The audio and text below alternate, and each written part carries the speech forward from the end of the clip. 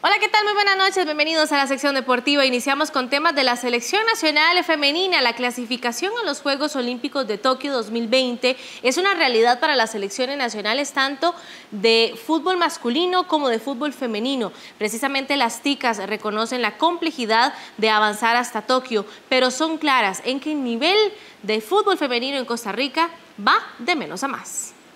A pesar de que la clasificación a los Juegos Olímpicos de Tokio 2020 es complicada por compartir en el grupo con Canadá y Estados Unidos, las dirigidas por Amelia Valverde confían en sacar la tarea, ya que son conscientes del buen momento que atraviesa el fútbol femenino en el país.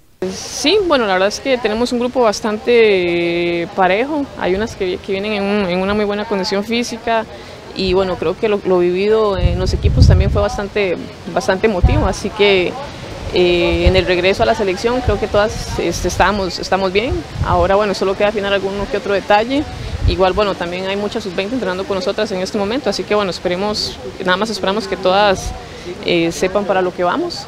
Y bueno, nada más, este, ahora bueno, la profe le, le complicamos el, el trabajo porque todas ahorita en este momento estamos en buena forma. Llegar a la semifinal del torneo son parte de las metas de las seleccionadas.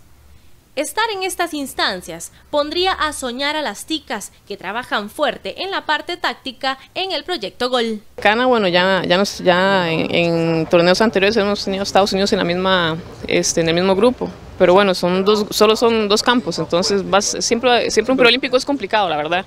Y con solo, con solo que cometamos un error contra, eh, contra Panamá o contra Haití, ya prácticamente que estaríamos fuera.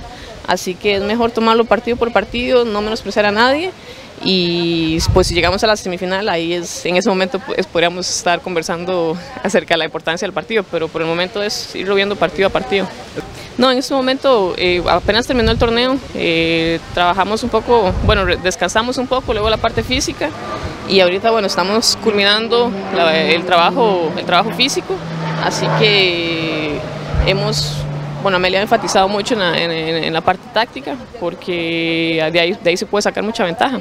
Entonces, ahorita, bueno, todos estamos a disposición de ella y la mayoría estamos en un buen nivel, así que ahorita la, Ahorita la competencia es bastante sana y bueno, para, para complicar el trabajo a Amelia a la hora de hacer la alineación también. Las ticas arrancaron sus trabajos de cara a su primer choque, que será ante Panamá el 28 de enero.